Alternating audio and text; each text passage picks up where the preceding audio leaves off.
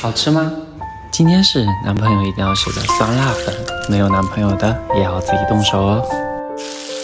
陈醋和辣椒的量都可以按自己的口味来定。我听说爱吃醋的人都很专一。木薯粉煮到带一点透明就可以了。放上焯好水的青菜灵魂花生还有榨菜。快做给你爱的人吃吧。